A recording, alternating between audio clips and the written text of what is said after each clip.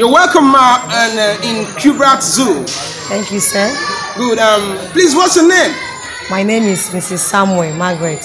Good. Why are you here in Kubrat Zoo? Well, I'm here to catch fun and to see many animals. Good. And uh, I also learned that you came with your students. Yes, I do. Good. Please, what school do you teach? I teach in Golden Heroes International School. Oh, that's wonderful. You're welcome again at, to Kubrat Zoo. Thank you. Good. Please, there's an animal beside you here. We want you to tell us what the animal is. I mean, the name and how the animal reacts whenever it sees a little chick and so on about that. Please. Oh, the animal is called hawk. Okay.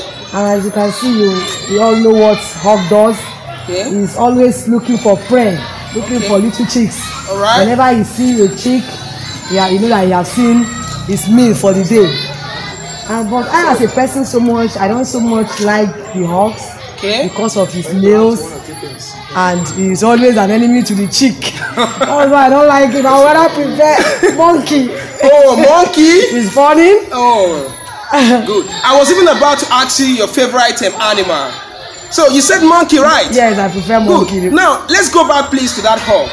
Now, if you see this hawk now coming towards you, about to grab you, you know, what would be your action? Ah, I will have, I will have to run away. I will avoid the hawk. Certainly. I don't want to have marks on my face. So I will not look like Ibadan woman. I'm telling you. I don't want to look like Joyo Messi. All right, thank you very much. And um, you said your favorite animal is um, monkey. Monkey. So tell us, um, why is monkey your favorite animal?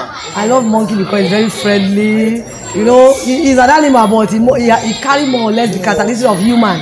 He behave like human. Okay. So and he's he's always he's an animal that you know he he is tamed Okay. and he doesn't go wide like so, other animals. all right, thank you very much. Do you ever think of having monkey in your compound? I mean, where you live? Why not? All right, thank You're very much. Thank You're very much. Thank you're very, welcome. You're thank you very much. job. We wish to see you more. You understand?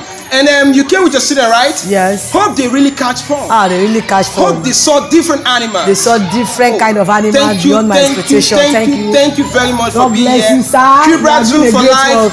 Thank you very much to you, and thank you very much for Golden Heroes Heroes, Private Private School.